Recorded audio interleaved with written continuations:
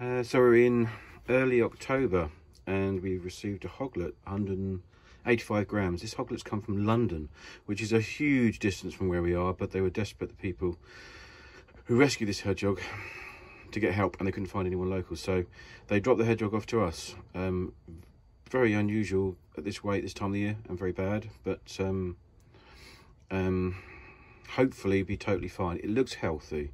So it was found out, wandering out during the day, in their garden. Um, this one, this hoglet's going to be called London. Um, very warm on arrival, which is fantastic. So, a small female hedgehog.